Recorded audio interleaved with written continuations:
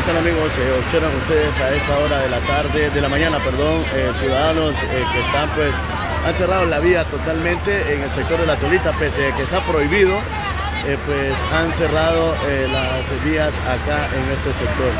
Observan ustedes, las unidades policiales han llegado hasta este sitio para poder justamente tratar de reabrir el tema de las vías, pero no ha sido posible, no sabemos qué es lo que reclaman, vamos a ver qué es lo que eh, piden ellos, vamos a hablar con alguien de, lo- de los dirigentes del sur, cuéntenos, buenas tardes, buenos días, ¿qué es lo que exigen ustedes? Eh, muy buenos días. Eh, nosotros como dirigentes del sur estamos apoyando la necesidad que tienen nuestros hermanos los de las 50 casas. ¿sí? Es por ello que en esta, en esta mañana queremos pedirle, pedirle eh, que nos tengan paciencia nuestros hermanos transportistas, eh, los que hacen el transporte en taxi, los que hacen el transporte en moto, que se están ganando día a día, que entiendan la situación de nuestros hermanos de las 50 casas, que estamos aquí por una sola causa, que debemos ser humanos. Hoy por los hermanos de las 50 casas, mañana puede ser por nosotros. Con esto quiero decir que el pueblo tiene que unificarse. Esmeraldas ha sido olvidado por décadas.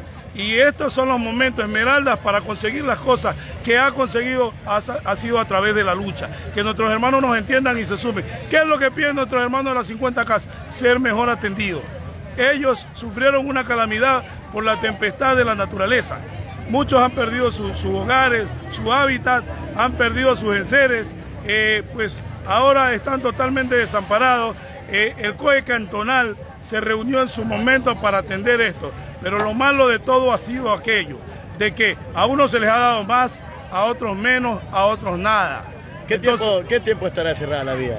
eh, pues están, están los compañeros dirigentes que están al frente de, de- de esta problemática, están llegando a acuerdos con los señores concejales que han venido a dar la cara acá.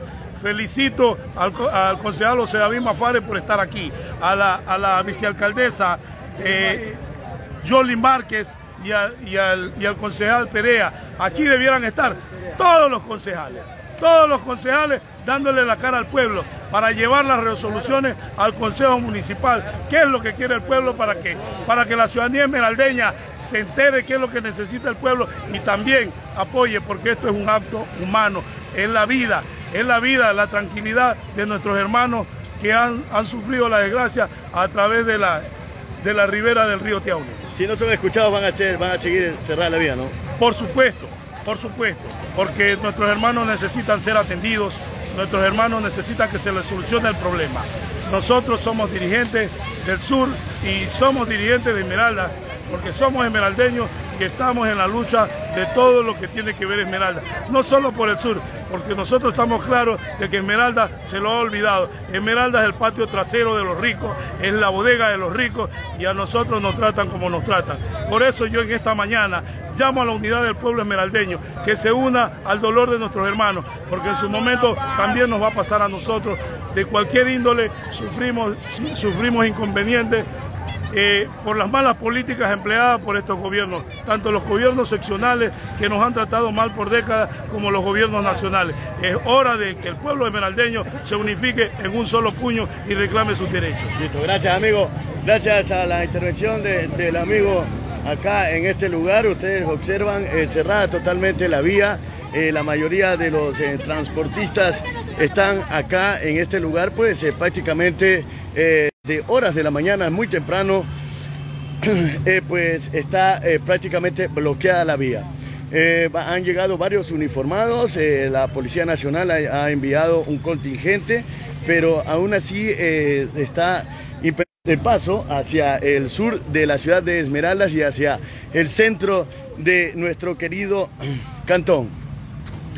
Esto eh, tras eh, comentarnos de que la mayoría de los ciudadanos de acá, de, el, eh, de las 50 casas, están exigiendo de que se les pueda, de que se les pueda justamente pues brindar el apoyo correspondiente que ellos necesitan, según lo que comentan, pese a que prácticamente está prohibido el cierre de las vías, pues hoy eh, tenemos que sufrir este tipo de situaciones. Vamos a hablar aquí un poquito con el amigo. Amigo, prácticamente atascado aquí desde horas de la mañana, ¿no?